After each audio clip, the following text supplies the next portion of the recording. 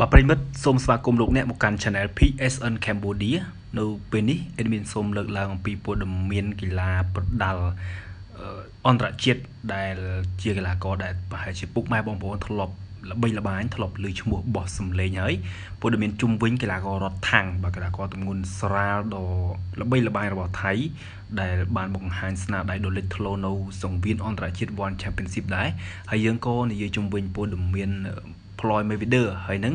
ប៉ាគីអោដែលបានឈរនៅក្នុងតំណែងកីឡាករលំដាប់កំពូលពិភពលោកផងដែរដំបូងគេនេះអេដមីនសូមលើកឡើងជុំវិញព័ត៌មានរត់ថាំងដែលកំពុងតែសំងំវឹកហាត់គុណចម្រោះ MMA ដើម្បីត្រៀមប្រជែងយកខ្សែក្រវ៉ាត់លំដាប់ពិភពលោកបើប្រិមិត្តរត់ថាំងចិត្តមឹងនុនឬក៏ថាសនាមដែលគេបានដាក់ឲ្យហៅថាមនុស្សដែកនោះដែលជាម្ចាស់ខ្សែក្រវ៉ាត់ one flyweight World Championship គឺខ្សែក្រវ៉ាត់ពិភពលោករបស់ One Championship ហ្នឹងកំពុងតែសំងំវឹកហាត់ដើម្បីស្វែងរកខ្សែក្រវ៉ាត់ថ្មី នៅក្នុងកីឡាក្បាច់គុណចម្រុះ MMA ដែលជាកីឡាថ្មីមួយទៀតបន្ថែមលើបទពិសោធន៍ kickboxing ហើយនឹងបដាល់មួយថៃឬក៏បដាល់ស្រីដែលគេធ្លាប់បង្កើតបានជោគជ័យនោះតារាក្បាច់គុណប្រដាល់ថៃដែលមានប្រភពពីក្លឹបនៅក្នុងទីក្រុងបាងកកបានបង្ហាញចំណាប់អារម្មណ៍ដណ្ដើមខ្សែក្រវ៉ាត់ kickboxing ពី Ilas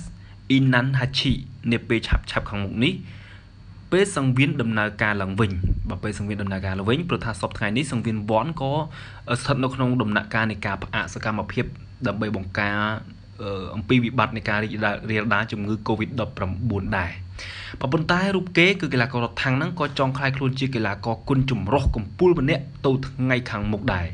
ការធ្វើការធ្វើបែបនេះ ដោយអ្វីដែលសង្សាររបស់ខ្លួនគឺ Stem Fietic បានម្ចាស់ខ្សែក្រវ៉ាត់មួយថៃពិភពលោកលើសង្វៀន Mon One Championship ដែរនោះបានធ្វើនាពេលកន្លងមកពោលគឺខ្លាំងទាំងក្បាច់គុនប្រឡាថៃ Kickboxing ហើយនិងកីឡាគុនចម្រុះ MMA The Iron Man ឬក៏មនុស្សដែករត់ថាំងចង់คลายខ្លួនជាជើងខ្លាំងគុនចម្រុះមួយទៀតមិនឲ្យចាញ់ Stem Fietic ដែលជាគូស្នេហ៍របស់ខ្លួននោះឡើយ។ The Iron Man បានថ្លែងថាខ្ញុំឈ្នះខ្សែក្រវ៉ាត់ One Flyweight មួយថៃ World Championship រួចហើយដូច្នេះគោលដៅបន្ទាប់គឺការយកខ្សែក្រវ៉ាត់ Kickboxing ពី Inahachi ខ្ញុំធ្លាប់ប្រកួត Kickboxing រួចមកហើយហើយបន្ទាប់មកហើយបន្ទាប់ពីការប្រកួតនេះខ្ញុំនឹងដូរទៅប្រកួតគុណចម្រុះវិញម្ដងម្ចាស់ខ្សែក្រវ៉ាត់មួយថៃខាងលើបានសង្កត់ធ្ងន់ទៀតថាខ្ញុំមានក្បាច់គោលរួចហើយដូច្នេះខ្ញុំគ្រាន់តែបន្ថែមក្បាច់ប្រ កួតគ្នានៅលើក្តាររិញរៀបស្មើប៉ុណ្ណោះខ្ញុំគឺជាកីឡាករប្រដាល់យូរហើយដូច្នេះវាមិនបញ្ហានោះទេសម្រាប់ខ្ញុំជាមួយគ្នានេះខ្ញុំក៏ចង់បង្ហាញឲ្យគេឃើញថាខ្ញុំអាចទៅដល់គោលដៅកម្រិតណានិងធ្វើបានកម្រិតណាទៀតរដ្ឋថាំងបានវឹកហាត់កីឡាចំបាប់ជូជីតស៊ូស្ងាត់ស្ងាត់កាលពីសប្តាហ៍មុនរហូតដល់ពេលនេះរដ្ឋថាំងវឹកហាត់នៅក្លឹប Fietic Training Center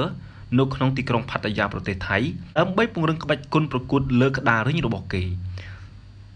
Fietic Training Center គឺជាក្លឹបដែលបានបណ្ដុះបណ្ដាលសង្សាររបស់រដ្ឋាំងគឺកីឡាករនី STEM Fietic ឲ្យឈ្នះខ្សែក្រវ៉ាត់ពិភពលោកនិងជាអ្នកលេងគុណចម្រុះលេចធ្លោម្នាក់នាពេលបច្ចុប្បន្ននេះក្រៅពីវឹកហាត់ជាមួយដៃគូ STEM ដែលជាសង្សាររបស់ខ្លួនរដ្ឋាំងក៏វឹកហាត់ជាមួយនឹងកីឡាករនីគុណចម្រុះ Denny Zamboanga ដែលកំពុងស្ថិតក្នុងលំដាប់កំពូល និងជាកីឡាករនីឈានទៅដណ្ដើមខ្សែក្រវ៉ាត់ One Women Atomweight World Title នាពេលខាងមុខផងដែររដ្ឋាំងក៏បានធ្វើការលើកក្បាច់ចាប់ជាមួយនឹងកីឡាករផ្សេងផ្សេងទៀតនៅក្នុងក្លឹបដែលមានជំនាញលើផ្នែកគុណចម្រុះនេះដែរនាពេលបច្ចុប្បន្ននេះគេមិនទាន់មានគម្រោងថាតើ The Iron Man នឹងបង្ហាញខ្លួននៅក្នុង ទ្រង់កីឡាគុណចម្រុះនៅពេលណានោះទេយ៉ាងណាក្តីរូបគេអាចនឹងផ្លាស់ប្ដូរទៅប្រកួតគុណចម្រុះប្រសិនបើមិនរងបរាជ័យនៅក្នុងការប្រកួតប្រដាល់ថៃនោះទេ